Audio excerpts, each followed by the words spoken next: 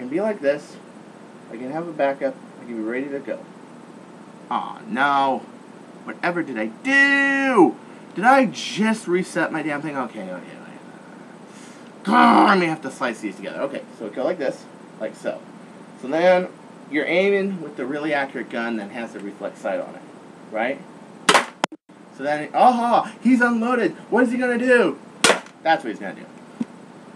So you can have as backup. You can have one like this, aiming like so, one like that, or you can just go dual gun like that, and then you can put this here, load this up, be like that, then put this here, load this up, be like that, and you've got two mega powerful guns like so.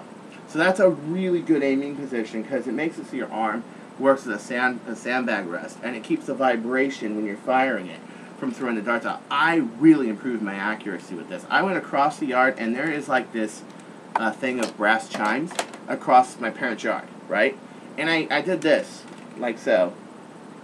And, and I mean, first shot, just bang, hit it.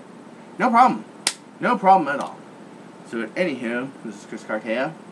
And um, Mr. Gilmour, please accept my apology. I'm sorry, okay?